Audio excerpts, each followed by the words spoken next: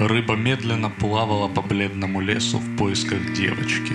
Она была толстая и неуклюжая. С трудом удавалось ей шевелить белесыми плавниками, медленно перемещаясь между деревьями. Беззвучно шевелила она ртом и лениво водила бесцветными глазами. И казалось, что девочку рыба ищет по какой-то давней привычке – нежели действительно в охотку.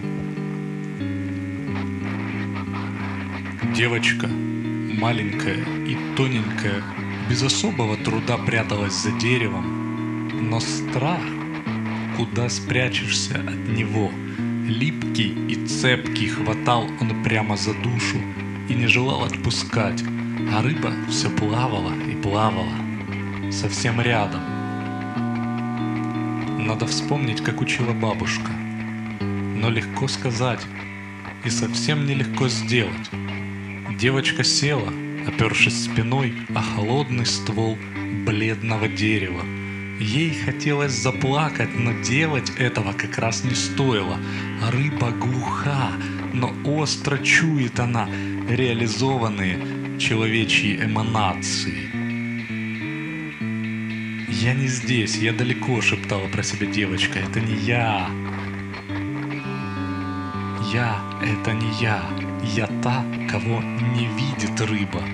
Сначала не происходило ничего, но затем девочка увидела, как пространство бледного леса вокруг нее обрастает призрачным кубическим силуэтом.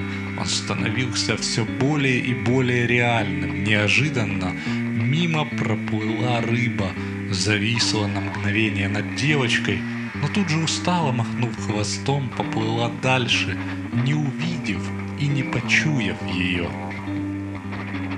А силуэт превращался в комнату, большую, полутемную и холодную комнату, и чем реальнее становилась она, тем иллюзорнее был бледный лес и рыба, и страх понемногу отступал, оставляя лишь холодные следы в сознании. Девочка оказалась за большим деревянным столом посреди комнаты. Стол показался ей красивым, но был отвратителен, как и все остальное в комнате, наполненной злобой, страхом и самообманом, и даже удобное кожаное кресло, на котором сидела девочка, будто бы угрюмо молчала под ней. В комнату вошел Человек, смешной человек с рыжими усами. Он медленно подошел к столу и осторожно посмотрел на девочку. Прокашлялся и тихо сказал. «Владимир Владимирович, как насчет заявления по Роснефти?» Промолчал и немного добавил. «Вы просили зайти». Девочка испугалась. Нет, это был не тот страх, что преследовал ее в лесу. Это была неуверенность и боязнь, что ее прогонят. «Дяденька, я вас не знаю», – тихо сказала девочка смешному человеку. «Знаю только, что ваше имя Песков». Смешной человек внимательно и немного устало слушал девочку и почему-то совсем не удивлялся появлению незваной гости, лишь пристально разглядывал ее руки и покусывал губу. «Я тут посижу немного и уйду», – жалобно продолжала девочка. Я просто подожду, пока рыба уплывет, а бледный лес закончит проявляться.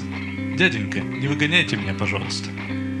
Смешной человек вздохнул, покосился на часы и тихо пробормотал. Я попозже зайду. Отдыхайте, Владимир Владимирович.